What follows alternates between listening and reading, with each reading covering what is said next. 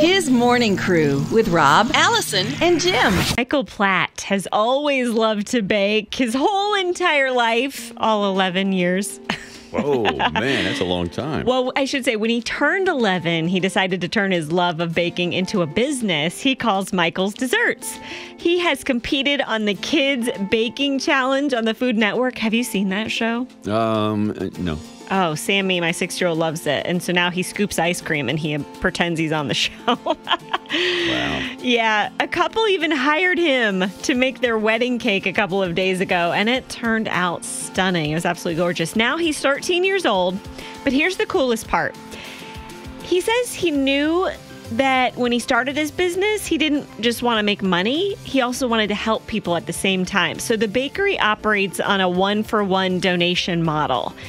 That means that for every cupcake he sells, he donates one to the homeless. Wow. Isn't that neat? Yeah, what is wrong with these kids?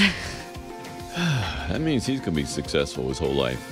Yes. With that kind of mentality? Mm-hmm. I think he's already tasting success. Oh, man. Sweet success. That is so sad. I'm going to shut your mic down before you keep going.